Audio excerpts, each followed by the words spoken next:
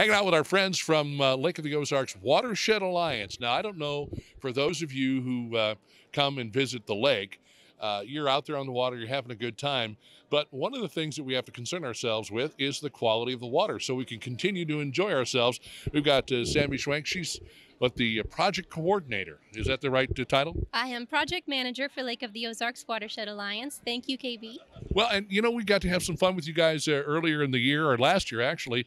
Went out, took some water samples, and it's uh, it, it's uh, an interesting process that you folks go through to determine to determine water quality. Oh yes, thank you for accompanying us on that boat ride. That was a lot of fun.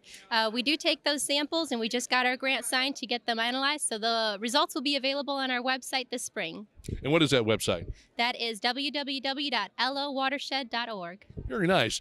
Uh, let's talk about these two fine folks uh, over here to my left, uh, uh, Kathy and Dennis, and they're volunteers. Yes, volunteers are the backbone of our organization, and Dennis is actually on our board as our treasurer. He does a lot of great work for our organization, and Kathy is a master naturalist, and the master naturalists do a lot of work with LOWA as well, so we very much appreciate them. One of the things I know that you guys are very adamant about is uh, uh, soil erosion and trying to do what you can if you live right there along the lake to maintain that soil. And there's a lot of different programs that you have available to folks to help out with that. Absolutely. If you're looking for money, come our way. We uh, give DNR grant funds to people that install lake healthy landscaping like riprap and Missouri native plants with absorbent root systems.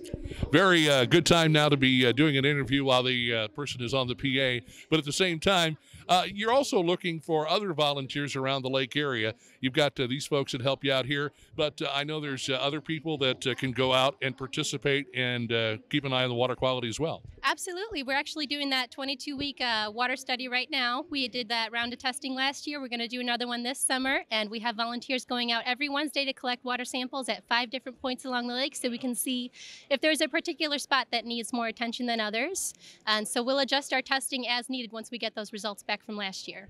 You know, you got a lot of good folks working to keep the quality of the water uh, where it needs to be so people can come to the lake and enjoy. We always ask people, you know, do what you can to, uh, I don't know, uh, keep the lake clean, don't throw uh, things in it. But uh, uh, there are a lot of other factors, including the environment, which affects our lake as well. Oh, yes. And one of the most important things is to not put leaves into the lake. It's not great for the lake. A lot of people do it. And I think it's mostly just education because people want to keep the lake healthy. So once we let them know that they shouldn't do that, they generally try to adhere.